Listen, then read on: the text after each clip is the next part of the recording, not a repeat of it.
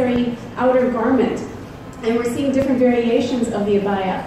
And of course, I don't have to tell you that the way we wrap our scarves was the same way Grace Kelly and Audrey Hepburn were doing it. So we've sort of, uh, I suppose, come full circle and brought it back in vogue. Um, and I think it wouldn't be possible without the vision of uh, important designers, and one of whom are on our panel right now. And I'm going to ask Hatem to say a few words. I'll give you the mic here, Hatem because it's very important um, the journey you've taken with your work and how you've sort of built your name in mainstream fashion, and as well, you're being looked upon uh, with a lot of seriousness for modest fashion as well. Yeah. Well, for me, I always felt like my role as a designer was to change perception from the very, very beginning when I started with clothing. Uh, I feel like we are reaching a stage now where fashion shows have become become obsolete. In fact, even in fashion week now, there's no hardly any shows happening. So the whole idea of a designer doing a fashion show and then uh, making that kind of investment and not getting a return is really annoying for designers. It's year after year after year, uh, you never actually cover your expenses. So why not create a concept like this? Why not uh, celebrate tradition? Why not celebrate uh, Islamism in a way where it can be done in a different style? I'm actually in a stage where I, I realize that designers are, are kind of looked at and compartmentalized in boxes because of what they do. Why can't the designer's work be glorified uh, just for what their, their actual concept, design concept is about? So for me, this movement that you are creating, Alia, I commend you, number one. And number two is uh, to have an actual uh, video displayed in, in the midst of so many people uh, that can get such great traction. And at the same time, you have actual pop-up where you can have the uh, designs there is, is uh, actually, I think, groundbreaking. No one's actually done it before. Uh, and I've been asked by quite a few designers to, to participate, uh, sorry, fashion weeks to participate, but honestly, I'm, the whole idea of doing a show, I've done shows in the past, doesn't make sense anymore. So this new direction that you are taking is, uh, I think, good news. Absolutely. Thanks, Hatem. What can we expect from you at the event? I mean, uh, I think I want to go, do a return to glamour. I think, uh, I mean, I'm working with Ethical Fur. Uh, I'm collaborating with this company in uh, Finland that do special skins. The whole idea, I've always wanted to work with with uh, exotic skins. I have uh, the same people that uh, collaborate with Fendi and Chanel are the same people that I'm collaborating with to create an actual winter collection for the abaya. I call it, I don't call it the abaya, I call it the, the non-abaya because we don't want to compartmentalize. Islamic wear is just like any other fashion, you know, and it's beautiful it all depends on how you execute it, how you put it together. I think that this is also kind of my, my goal as a designer. I have a message that I want to uh, convey through all of my designs, through all of my social media, uh, through my fashion films. I always have a message, and I think that each designer uh, should have their own message. Yeah, very important. And as Hatem said, uh, we have many new strategies that we'll be unveiling through this event called Cover Buyers Week, Buyers Lane, I'm sorry. And it is uh, being deemed the anti-fashion week for good reasons and friendly reasons. And it is because we are uh, changing things up a little bit. We are coming up with new strategies, one of which we are doing away with the catwalk. We think the catwalk is antiquated. We think that there's much more uh, profound ways to make the audience and the market connect with the designers. And so when we allow the designers to supply us with a video, um, that we will then reformat so that we can do it in um, high definition projection mapping and different types of projections, um, you know, in a 360 degree uh, way. Uh, it will immerse the audience and the, uh, the B2B and the B2C uh, clientele in, in a way that they've never experienced before. And you're able to actually feel the fabric, you're able to see the merchandise, see the finishing, see the quality. Issues that we have in our region are quality. We do not understand the, the importance of production. All designers are forced to become uh, industrialists. Designers in New York, they create a prototype, okay? They send it to the factory, they have a contract, and don't have to worry about production. For us, as designers, we have to worry about hiring tailors, about overheads, and all of this, because we cannot find the quality. So I think that also conveying that quality is very much alive in our region is also very important. And I hope that also industrialists take more effort into creating production facilities for designers because for me it took me years to get my team, but not everyone has. Uh, I've been lucky. I've been able to get hired tailors and their overheads that really kill your profits. But in the end, it's worthwhile. But we should not have to do that as. Yeah, that's a very good point, and I think that's our way of maybe upping the game a little bit in modest fashion, uh, which is very necessary. It's, it's the next step in this uh, way of being more progressive in the industry. And we do feel like we're in the forefront of the entire fashion industry, not just uh, modest, but we think we're encompassing mainstream fashion when it comes to these new strategies that are effective. Uh, like Hatem said, there's a way to connect with the designer, the designer's vision. You need to actually be able to understand the catwalk wasn't allowing that. The catwalk was very impersonal. It was allowing uh, basically a parade to happen up and down. And by the time you were down to like your 10th or 15th catwalk show, you'd forget the first one. We don't want that to happen. We, we feel that every designer is very special in, in their approach to work. And so we're giving them complete creative freedom when it comes to uh, the way that they're going to present their, their collections. And I think that's one of the most exciting things. Um, and by the way, we're doing this for the artists too. We have one of the artists that Batul Jaffrey was going to be in the event. Batul, stand up please, so that everyone can appreciate. So, um, and we have, uh, all together we're choosing eight artists that will be coming uh, to the event to showcase. They will also be presenting their work through a video. And, uh, and that allows you to zoom in, zoom out, allow uh, everyone to appreciate uh, you know, the vision, the appeal, uh, the details uh, to the work. And then of course, it's a tool at the end of the day. It should compel you to go right to their pop-up, which will be right there at the same um, space, and, and actually meet and greet the designer, the artist, and, and really connect with them in a meaningful way. So and if you're OCD like me, you can have full control over everything. The video, the merchandise. Absolutely, absolutely. Full control. And that's what we have to do. We've got to bring the control back to the designer. So that is one of uh, several strategies that we're working on. We're also working on some strategies for retailers to partake in a more meaningful way. We need to be able to bring traffic to the retailers, and we feel that's not happening at Fashion Weeks. I think there's too much pressure on retailers. They're expected to come and show up as buyers. And let's face it, these days, the, the, the business doesn't have that much buying power. Each store is, is minimizing their, their buying uh, mandate. So more of the consignment type of deals are being struck, which designers aren't happy about. So we also need to help uh, find some solutions for the retailers to build their revenue streams. So we have a few strategies on that as well. Um, and of course, uh, now coming back to art, we're grateful for Pullman Hotels, uh, that was mandated by Accor Hotels, who they're owned by, to partner with IFDC on a arts initiative, which we're actually launching at Pret-a-Cover Buyers Lane. So I really encourage the art enthusiasts to come out. Um, we have a very strong VIP program where we're going to do exclusive shopping programs uh, with our partners like Aston Martin, Emirates Airlines, um, uh, Pullman Hotels, Accor, all these luxury partners that we have. We have a few more uh, large brands that we'll be announcing next week that are uh, partaking in the, in the program. And, uh, and the reason that's important is because there's, there is a spending power, but everybody keeps saying, where is it and how do I connect with it? So it's our job to make you connect with that as well. So we are putting some effective um, activations together, which will hopefully channel this spending power directly to the designer, the retailer, and the artist. So with that, I'd like Vanessa, welcome, thank you so much, um, uh, to say a few words about the uh, joint uh, partnership that we're doing with you.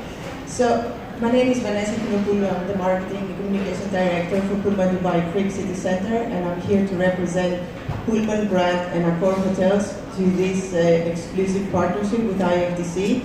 Just a few words about Accor Hotels. We have over 3,900 hotels worldwide in 92 countries and 108 Pullman hotels in 31 countries all over the world. In the region, we have five Pullman uh, with 2,888 keys and two more coming up in the pipeline.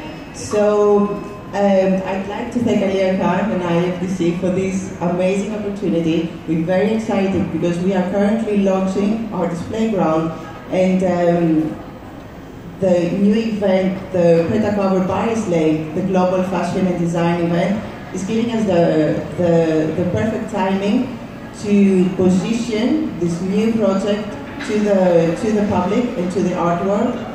So a few words about Artist Playground. What would you expect? Um, as Pullman brand's philosophy is our world is your playground, we are very much linked and aligned ourselves to the art and design. So the need of an art, dedicated art area, which is going to be temporary, it's going to be um, at all times at the hotel, not temporary, at all times at the hotel, has been born, and that is the artist playground. Each Pullman hotel will have a dedicated art area around, uh, will be surrounded by exquisite art, and uh, our executive, our um, exclusive partner is uh, IFDC. So we both curate that project, meaning um, we scout for talent and we bring all those um, designers, uh, artists, um, sculptors, graphic design, illustrators, and photographers to participate. The dedicated art area will be um, changing every three months, and that's because we want to to create a very uh, uh, um, exciting um, uh, feeling about it and curiosity, so people to come back and uh, and uh, visit the area. And as the Pullman brand always offers a seamless journey to every traveler, we try to connect the vibe of the location to whoever uh, comes to the hotel and finds himself in it. Um, therefore, the arts playground will be something very unique that only a Pullman hotel can find. And uh, it will also, it's a great opportunity for business opportunities, for business chances, because um, it can enhance a lot of uh, uh, uh, firms, meetings, and art exhibitions, and, um, and corp- um, uh, to find the art and uh, act as a gallery. So it's a huge, huge news for Pullman, and we are so lucky that Ali and I have a, a long, long relationship, a very solid one, and we have this chance to to project to all of you the new project. Um, and as you can see here, we are surrounded by art. It makes a difference of the world. The colors, you know, it changes your mood. So this is just a small sample because uh, in Pullman we're going to have the best of the best artists. We're going to search for them globally, and uh, we're going to also support the local, uh, the lo- local art and the local culture. Thank, Thank you, Vanessa. It's really exciting, and we're really excited because together we're hoping to give a new new spin, a new twist to the uh, concept of art galleries. If I can draw your attention to the wall, I'd like to unveil, uh, reveal to you some of the participants that are going to be in Pret-a-Cover Buyers Lane. Uh, it was quite a quite a selection process. Um, I hope everyone can see, and if you can't, if you want to just come a little bit to the side, sorry, this is the best uh, uh, projection wall that we can find. Um, so uh, with all this media coverage, with all the uh, global positioning that IFDC has, we have over 10 offices around the world. Uh, we work with governments and retail groups and, uh, and media groups. Uh, we've just, we just did something with the Italian government for the Torino Fashion Week where we actually made history and uh, over here Vogue had actually covered it where we were um, the, the first ones to bring modest fashion as an official category to a mainstream fashion week. Um, and of course, everybody knows and loves Toby by Hatem Alakeel. He's uh, uh, uh, going to do actually something very exciting, as he explained. He's doing a collaboration with a uh, ethical fur and uh, skins company, and he also has his much loved and adored uh, Toby line. So we'll be privy to both these collections to be revealed at the event. And of course, we're very excited about the Artist Playground set up because that's going to be set up as a lounge at the event. So hopefully you guys can come, meet and greet, and have a, a cappuccino or tea or, or, you know whatever you want at their uh, lounge and appreciate a lot of the art that's going to be around there. Of which Batul is going to be one of the artists. Um, who's uh, she's I must say she's an emerging artist, but uh, quite rapidly becoming appreciated in the art world. So I'm excited to to see what she has for us. Um, then we have uh, okay, let me just it's stuck. Hello. Oh, there we go. Okay. So um, we have, um, sorry, yeah, if you can just get the lights. Punto is, I'm sorry, I'm not doing that. um, Punto is one of the um, leading brands of and a very exciting designer of Turkey. Where's Jad? Can I have Jad because our, your computer is stuck, Jad? Jad or John? John, maybe you can come? Thanks, the computer is kind of stuck, so. Sorry, bear with us. Just go to this. That's fine. Let's start, let's talk about Fashion Valley. Uh, Fashion Valley is a Malaysian company. They represent um, leading and emerging designers uh, from, the, from Malaysia. And uh, they'll be bringing six brands with them, six Malaysian designers who have done some pretty exciting things. So we're actually having a, a proper installation uh, by Fashion Valley and their six designers and each one of them will also be showcasing in the unique uh, video format that we're going to be doing the showcases. Copenhagen Fur, uh, Hatem had mentioned a little bit about them. They're the ones that uh, align with uh, Fendi and Prada and some of the leading names of the world.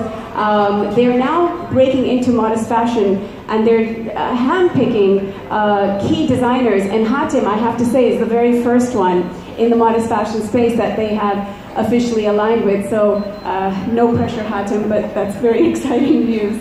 Um, Holic Glove uh, Couture, they do probably some of the most unique gloves I've ever seen in my life. Um, and they are into the whole couture space. They're from um, the Czech Republic. Sorry, it's stuck again. I don't know why. John, can you come here, John?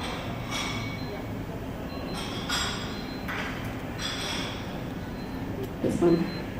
Yeah, that's fine. Okay. When, when we were actually, when we passed uh, Punto, I, I want to finish talking about Punto because he's a very special designer. He literally does these exquisite pieces that look like art, 30,000 euro dresses, and I've seen them myself. Uh, he, his clientele is the leading uh, Japanese royalty, European royalty. Um, he has a very uh, unique sort of taste in, in what he does, and, and uh, so I'm very excited because it's actually the first time that he's showcasing in this region, and he doesn't showcase much anyway. Like Hatem says, he's not really uh, that big on fashion weeks. So the fact that he's sort of uh, taken part in something as revolutionary as this is, is very exciting. Um, and I think what we'll do is, um, if, is it going to work or should we just, okay. There we go. All right. Collage is also a very important player in this event. Collage is, uh, uh, they do quite unique things um, themselves. They're, uh, they're he head headed by Nasra Samer, who has a very unique vision when it comes to fashion. And she works with a lot of the local designers, Emiratis and um, Indian, Pakistani, uh, GCC, and she uh, literally has this eye for unique fashion. So some of the stuff that she presents is, is quite extraordinary, and I'm very excited uh, for those of you that don't know collage to actually meet her um, and see her work in, in their installation. Dilyara Sadrieva is from Russia, very unique designer, excited to be showcasing her. Underwrapped, I think a lot of you that are in the modest space know that they're rapidly becoming quite uh, famous for what they do. Uh, they do uh, modest athletic wear. Um, they've done some key collaborations um, we also have Talabaya. She's, uh, she does uh, European style abayas that are one of a kind. You'll fall in love with her abaya. She just has a unique approach to it because she's not from this region. Um, and you know, having that European approach to abayas uh, just kind of gives it a new twist. Dasugi Designs from New Jersey uh, have also a very unique approach to modest fashion. Esma Dubai is uh, always doing interesting things with their designers, uh, so they'll have a multi-brand showcase. Fringadine, I'm wearing them right now. Fringadine is also very unique in their approach. Um, they just they just believe in uh, sheer elegance and uh, class and, uh, and modesty in, in, in the pure sense. And so um, they come up with clever hats and, and headwear when, and dresses and gloves and so on. Um, sorry? Can you come back, please? Sorry. I think you should just stay here. okay. Okay. You can just take it to the next slide, please. So Mix Furs is also one of our Russian designers. They do a lot of men's um, uh, work with using fur and, and skins. And uh, you know, I had an eye for them for uh, alliance with uh, with Hatem as well. Go on to the next one. Uh, the Room is from South Africa. They're also multi-brand. They do accessories as well as uh, modest fashion, and they're very immersed in the modest fashion scene in South Africa. Next. Um, more to see is from Indonesia and Nasreen is also, uh, she's actually a very smart, um, athletic, modest athletic wear. She does a lot of swimwear. Um, Fikasa is doing some unique things in South Africa with uh, kaftans and with modest wear in a Euro style approach. Um, Zal Fashion is from uh, Sweden and uh, she's got an Egyptian background uh, also has um, elegance at the forefront of her work. Loretta Caponi is now just getting into uh, modest fashion. Uh, they're a loungewear company, but their loungewear for most of their clientele is again um, uh, very high level VIP from, uh, you know, they, they've got a strong market in Hong Kong. Um, they just did a huge show in Palm Beach in Florida, uh, and now they're coming to the GCC in a very strong way. We're very excited about their show. Um, Hijably from India uh, has a very elegant way of uh, showcasing. Go, next.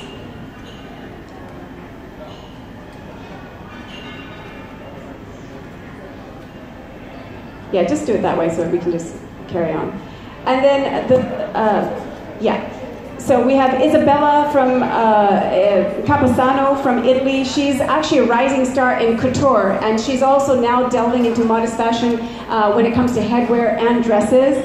Um, and then some of our um, uh, leading names, as I mentioned to you, we'd like to thank BHV for supporting us uh, today. We'd like to thank Galleries Le Gourmet uh, for supporting this, this press conference. Aston Martin has been a key supporter, and we thank them. We're excited to invite you to their VIP night, which will be very interesting. Uh, Careem has become our ride partner. Emirates Airlines uh, is, is doing a few initiatives with us, as well as being our official airline. And of course, I'd like to draw your attention to the back wall here, where we have uh, so many more supporters.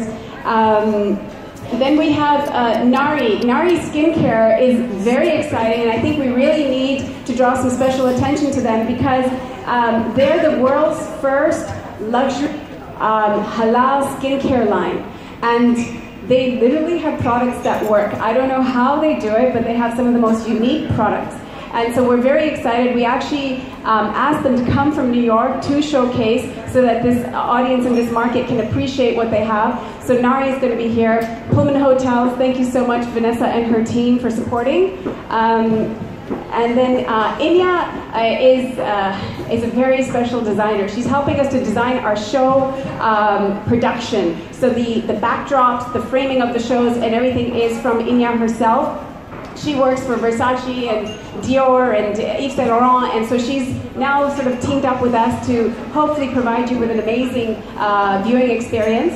Um, Burgundy is a very special event design company, and I'm very excited for you to come to the event because I don't think you'll ever have seen an event like how they're designing our event with these luxury style lounges for pop-ups and uh, and a few other um, things here and there. They're they're very very special, so we're excited about them.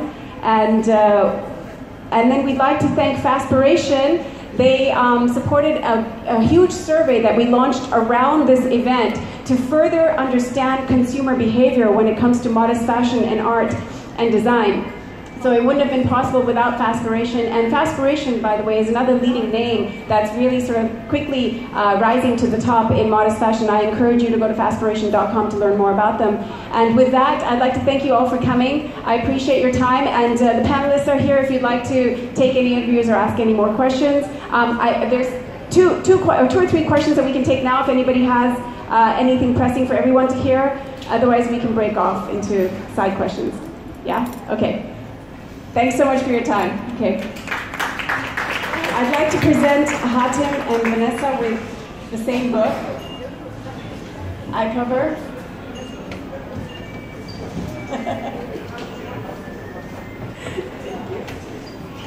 Vanessa, thank you so much.